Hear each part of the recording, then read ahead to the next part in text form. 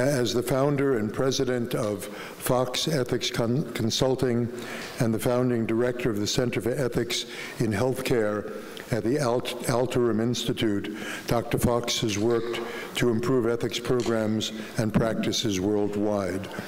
Um, as many of you know, uh, Ellen served um, for 15 years as the director of the National Center for Ethics in Healthcare for the U.S. Department of Veterans Affairs. Um, in this role, she directed um, ethical programs throughout this, both inpatient and outpatient programs throughout the Veterans Affair health system. Uh, Dr. Fox will be moderating today's panel on informed consent. Please join me in giving another warm welcome to Ellen Fox.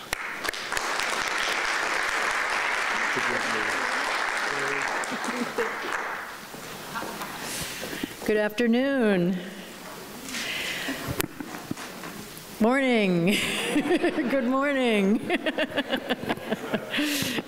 I'm on East Coast time. Um, our first speaker is Eric Kodish, Rick. Eric Kodish is a pediatric hematologist and a professor of pediatrics at the Lerner College of Medicine of Case Western Reserve University. Previously, Dr. Kodish served as the F.J. O'Neill Professor and Chairman of the Department of Bioethics at the Cleveland Clinic Foundation and as the founding Executive Director of the Cleveland Fellowship in Advanced Bioethics. Dr. Kodish served as the chair of the Bioethics Committee of the Children's Oncology Group and as an appointed member of the American Academy of Pediatrics Committee on Bioethics. Today, Dr. Kodish will give a talk titled Parental Refusal of Pediatric Cancer Therapy, Ethical Dilemmas. Please join me in giving a warm welcome to Rick.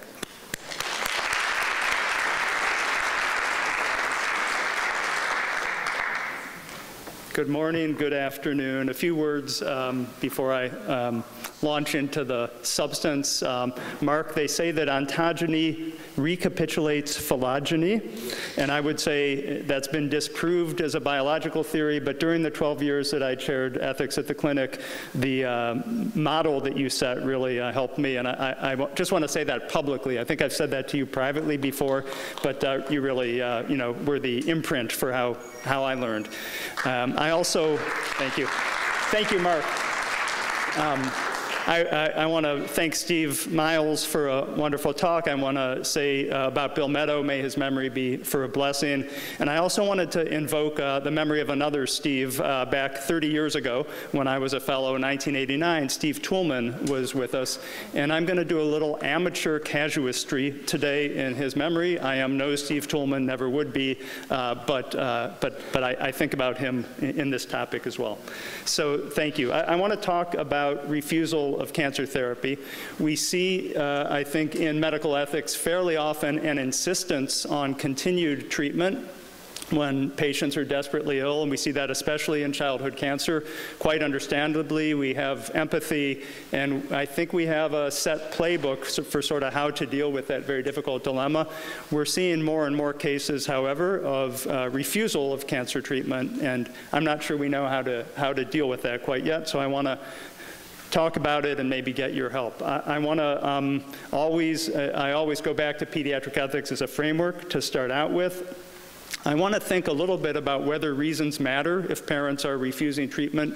Uh, what does it matter what their reasons for refusal are, or should it?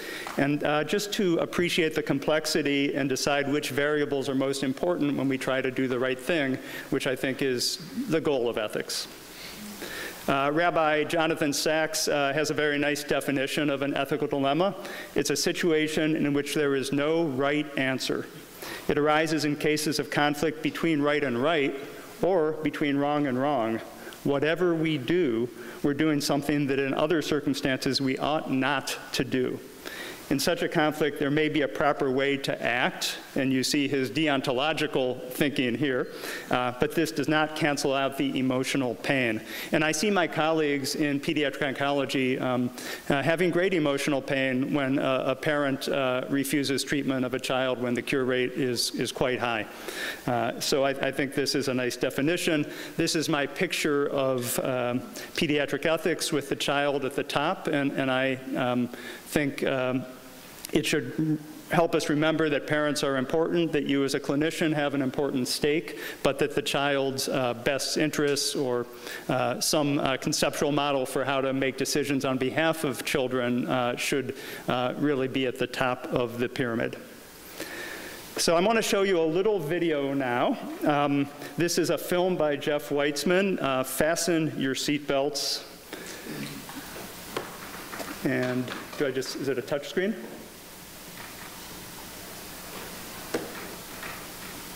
The doctors instill this fear in you. They tell you, you know, if you don't do this, your kid's gonna die. And they look you right in your eye and they're serious about it. And they said it multiple times They to us tell that us, our you know. child will die if she stops chemotherapy. His side effects were so extreme, I feared I'll say goodnight to him and he'll he won't wake up again. Raul has been able to bear it, but it has been unbearable for me. And she shouldn't have to because she doesn't have cancer. Nobody knows that kids are being forced into chemotherapy, that they're being taken away from their parents in certain situations and forced into chemotherapy. 99% of the population has no idea this is happening. There is no cancer for which I would be willing to undergo chemotherapy myself. No cancer at all. You can't say, well, what, what about this exception? What about that exception? Nope, no exceptions.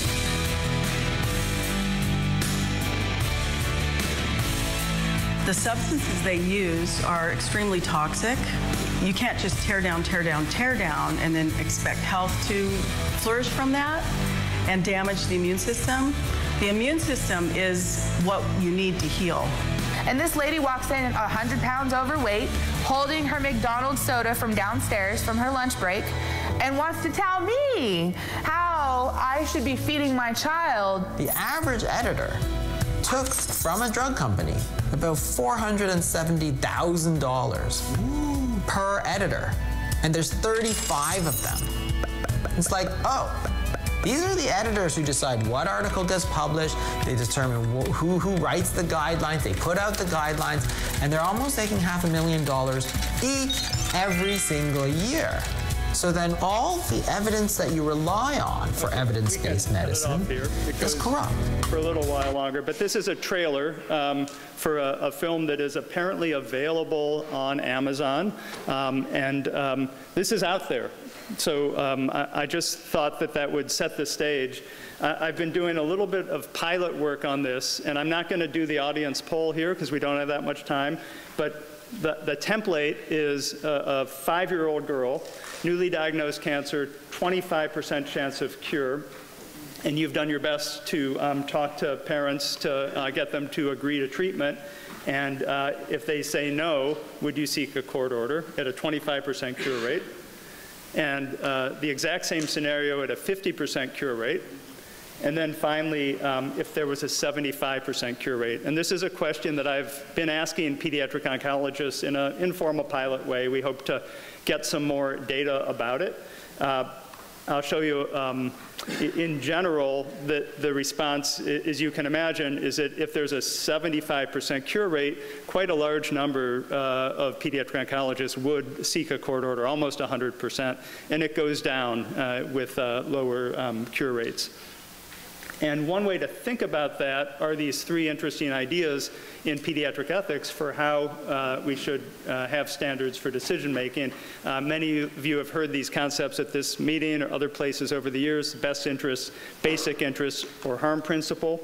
And one way to think about this question of what point would you report for medical neglect if you have a best interest standards, which I, I take to be sort of the highest standard, uh, even a 25% chance of cure might trigger an oncologist to make a report for medical neglect. Um, Rich Miller's work on basic interests, I think, is very informative, more of a middle ground. And if it's a 50% chance, that may map on. And, and I think, again, this is one of these things where Bill Meadow's memory comes in. It's like taking some data, putting some conceptual work, and, and blending those together. Uh, and then the harm principle, uh, you know, if, if your threshold is there, uh, it might take a 75% cure rate, but most pediatric oncologists would certainly get a court order for that. And here is, here is the data at the pediatric hemonc meeting uh, last year. Uh, it was 36% yes and 64% no. Uh, if it was 25% uh, chance, and if it was 75% chance, up 100% would say yes. In the COG Bioethics Committee, uh, very similar findings, a little bit of a smaller sample size.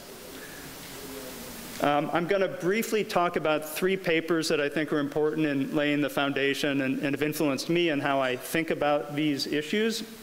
Uh, the first is um, Jeff Hord uh, published a case report uh, of a seven-year-old with favorable prognosis ALL. Um, the family uh, agreed to treatment for the first three months. The child was in remission. We know that remission is not cure, especially with ALL, which requires two, two years of treatment at least.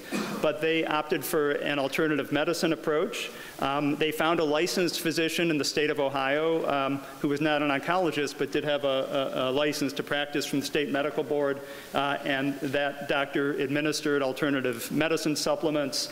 Um, the oncologist reported this as neglect. The state medical board uh, was also um, notified, decided not to take action. The judge uh, decided that from his or her perspective, uh, two licensed physicians were involved and the parents should get to choose between two licensed physicians. So a little culpability uh, on our ability to police ourselves, I think, in medicine. Uh, but Jeff and his colleagues said an oncologist must act as an advocate fighting to ensure the child is given the best chance of cure while trying to balance the harms that may occur.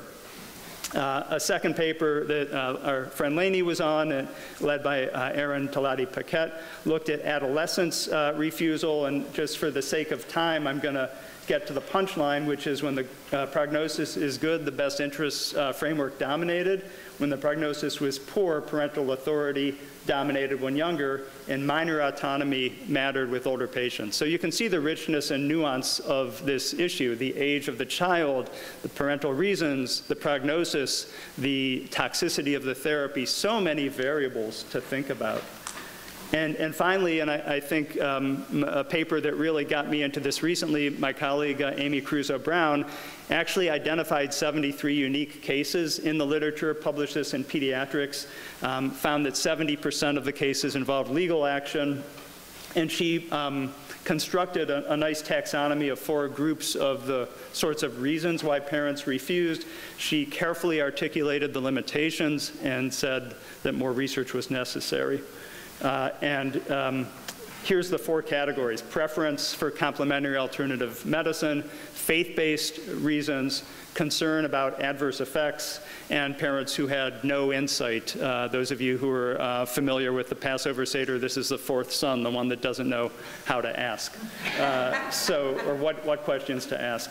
But importantly, Amy uh, and her colleague uh, pointed out that there was often overlap. These aren't single reason categories, and this was a, a nice little figure from, from their paper uh, that, that looked at the sorts of reasons. So a couple ethics points here. One is a point about uncertainty. Um, there's empirical uncertainty, which I, I think is categorically different uh, from ethical uncertainty. Uh, with empirical uncertainty, more research can, can change it. We can get evidence and we can decrease uh, the amount of uncertainty we have. I don't think ethical uncertainty ever goes away, and, and I think it's going to be an enduring moral question, but the ethics analysis certainly can sharpen the focus, and this is where the casuistry is, uh, is going to come in uh, pretty soon. I think um, there's a rebuttable presumption in ethics that reasons matter, but it's not always the case that reasons matter. In my hierarchy way of thinking, actions are what matter most. Um, the reasons people do something is um, subsidiary to that. And importantly, uh, the way that somebody does something, I think, is important and often overlooked. The, the grace, the manner with which somebody does something. So Reasons matter if the action is killing somebody in self-defense versus killing somebody in the act of robbing a bank. I think we would all say the action is the same, but the ethics uh, are different, uh, and there's uh, moral culpability for doing a bank robbery, maybe not for self-defense. Uh, in cases of very curable cancer with young children who can't participate in decision making, to me it seems like we should say reasons don't matter because it's a five-year-old who can't express his or her own reasons. But I'm eager to talk about it and hear your perspective on whether parental reasons matter. I think a, a pediatric oncologist who reports a uh, family who's refusing treatment with medical neglect is making an, an ethical decision, but I think sometimes my colleagues delude themselves and they think that they're making the ethical decision, when in fact it's a judge, is a representative of our society who is making the ethical decision about whether to uh, remove custody or not. And the courts are expected to hear arguments from both sides and to act uh, in parens patriae. The courts, we know, are a blunt instrument, however, and parents who refuse treatment, uh, even when the prognosis is excellent, I think we all would agree are doing something other than child abuse. Child abuse is not a good way to think about this, but it's sort of the only tool that we have. Um, there have been cases where um, parents leave a child, God forbid, in a car with 100 degrees and the child dies and they're prosecuted. There are um, lots of kinds of shaken baby syndromes, sexual abuse, physical abuse. This isn't, this isn't that. I, I don't want to contend that, but I think we need to have humility when it comes to our decision making as pediatric oncologists. Um, causation is an important feature in moral psychology, and uh, we need to remind ourselves that it's not the parents or the physician who gave the child cancer. We know that bad stuff happens in life, and childhood cancer is certainly one of those bad things.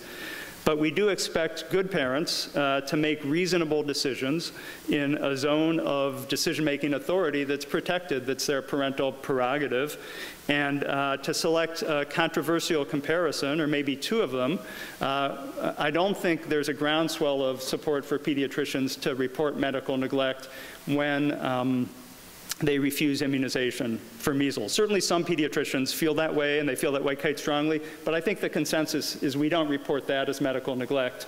Uh, that's one case.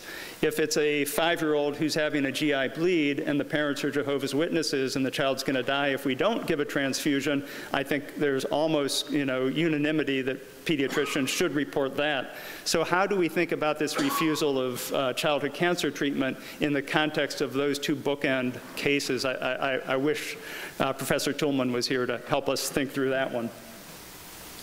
So back to the dilemma. In, in my mind, um, there are some things that should influence a decision to report. The child's prognosis, um, the ascent or descent of the child, if it's an older child, uh, including uh, the need sometimes to ask parents uh, diplomatically to leave the room so that we can talk to the older child himself or herself. Um, the burden, toxicity, length of treatment should not go um, uh, unthought of. It's extremely important. We had a, a patient last weekend have a four-hour seizure from a new chemotherapy in a drug that was intended to, to help the cure rate get from 90 to 95 percent. So, you know, it, it's, it's tricky. Uh, the toxicity is real, and we don't want to discount that. is it a new diagnosis versus uh, refractory disease versus relapse disease? And Parents sometimes disagree with one another, believe it or not. So, you know, is there a parental disagreement going on? What factors should not influence the decision to report? Um, I've stated my case that I don't think parental reasons should matter. Um, I certainly don't think race, gender, SES, nationality, religion should matter, and I think that we need to be uh, um, aware of and actually to study our own biases in this regard. And that part of the empirical work I hope to do going forward is going to look to detect potential bias, in which cases pediatric oncologists report and don't report. Um, and I think um, the resources of a particular child welfare system shouldn't uh, affect our uh, decisions. Sometimes we hear the county is overburdened. They have so many more difficult cases to deal with. They're not going to waste their time with this one. I, I don't think that's a reason to not report. That's up to the county once you make the report. But I don't think we can tell ourselves that and say, okay, so we're not going to do it. This is a busy slide. I, I, hope that Steve Miles would not say don't show it. I mean, uh, Bill Meadow, sorry. Uh, right? There is a lot here, but I think it's a good conceptual model that uh, shows some of the things we should be thinking about it. The medical team uh, is influenced by these things, the family is influenced by these things, and how do we manage the refusal? And at what point do we get the court state involved with these underlying questions of ethical considerations on the bottom? And uh, this is an area that I'm excited to do more work in, to do some empirical work. It's been a while since I've done empirical research, and, um, and uh, I'm looking forward to uh, your answers to maybe some of these questions. This is the last slide. I won't read it. I'll give you a second to, to glance at it.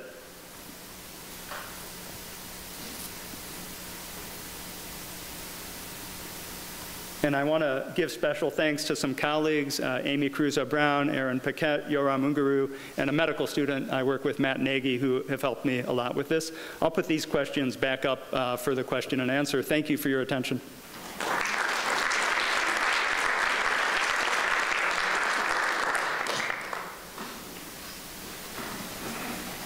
Do we have questions? Come to the microphones, please. Oh, okay. You can shout. Um, I'm Maggie. I'm a Pritzker medical student, and so the I think I understand the hierarchy of you know the action is greater than the reason, but I think the thing that you can run into is if to report shouldn't matter, but then we saw from the one of the talks yesterday about how different countries, our ethical values are so different so to what extent is choosing to report without regard for reasons an imposition of your own cultural values on the situation? Great question, and, and I uh, agree it was a wonderful talk yesterday, and it got me thinking about this talk as John was talking about that.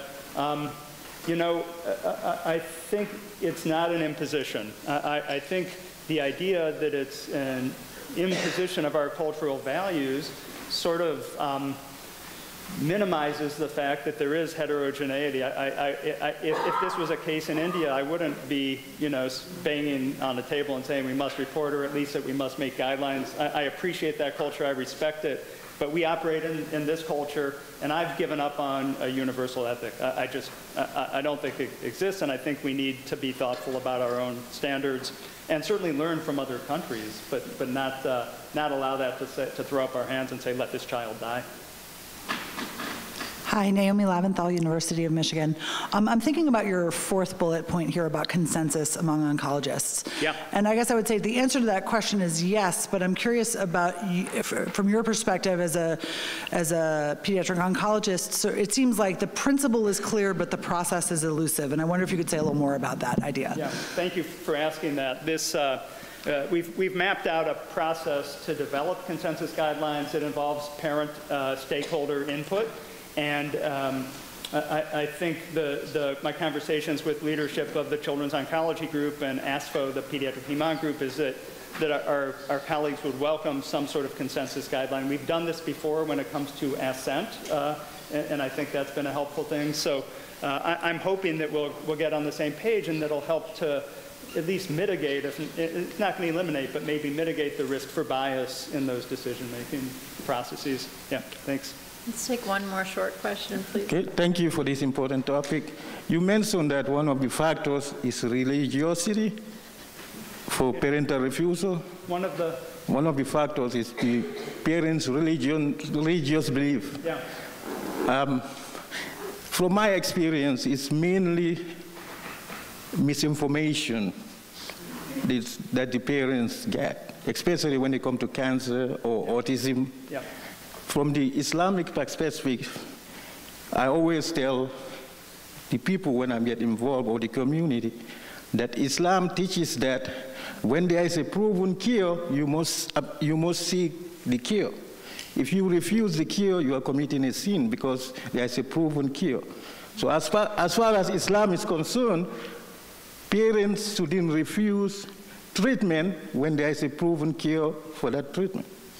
Thank you. Uh, uh, that's that's a, a, really great comment, and I think you find that certainly in Judaism you, you find that. But in, in some of the cases that I've uh, been consulted about and asked about, the parents have a particular religious authority that they're turning to, and the trick as a clinical ethics matter is to get them to listen to other religious authorities, and then that moves on a little bit to maybe an imposition of cultural value. So you do have to be careful, but, but, um, but I think showing respect for that parental religion and that faith uh, uh, view is a really important first step in trying to get to some, some compromise, potentially.